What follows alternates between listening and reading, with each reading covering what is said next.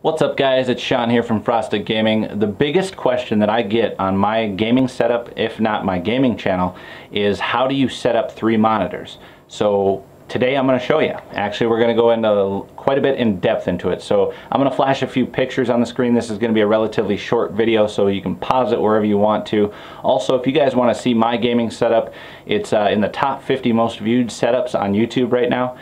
Go ahead and click the link right here and hopefully I put it there but anyways um, so let's go ahead and go through some of the pictures so basically the first thing that you want to do is you want to first of all you want to have a computer obviously with a nice graphics card in it. It has to be an AMD 5000 series or above and that, obviously that was quite a few years ago. Uh, AMD 5000 series or above and I believe in Intel or not Intel NVIDIA what is it, 600 series or higher, 500 series or higher, or an AMD 5000 series or higher.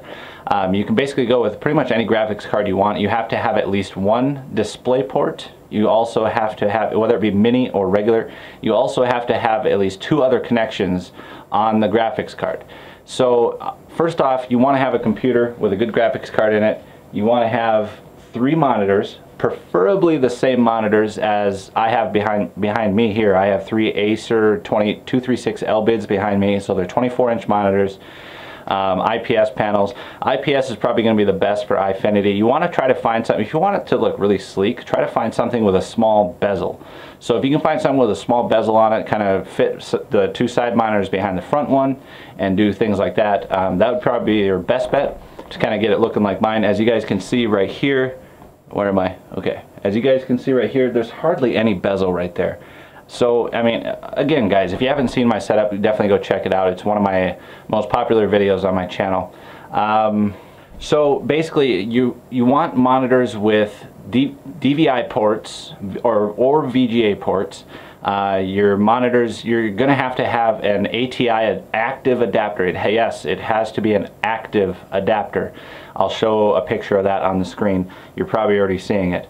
Um, also HDMI, monitors have to have HDMI, uh, VGA, DVI, whether it be the plus or negative DVI. I can't remember the, I think it's DVI-L and DVI-H or something like that. Uh, your display port, your active display that you're going to run your uh, display port out of, this active display adapter, you can divert it to or convert it from DisplayPort to DVI or DisplayPort to HDMI, which is what I did. Um, basically, that's pretty much all you need, guys. And then you just have to go into your uh, your settings on if you're running AMD, which is probably the easiest thing to do, Eyefinity. Uh, you want to go into basically click right click on your screen and go to AMD Catalyst Control Center. That's all you have to do. And then on the left side, it'll say My Digital or AMD Eyefinity Multi-Display. And then you just click on Create Display Group. That's all it is. And then just follow the instructions, uh, move your screen resolution around a little bit. And if you're running 1080p monitors, you guys should be with uh, 5760 by 1080. So if you guys have any other questions, make sure you leave it in the comments down below. I'll be sure to answer as best, most of them to the best of my ability but I will try to answer, I'd say 90% of the comments, if not 100% of the comments.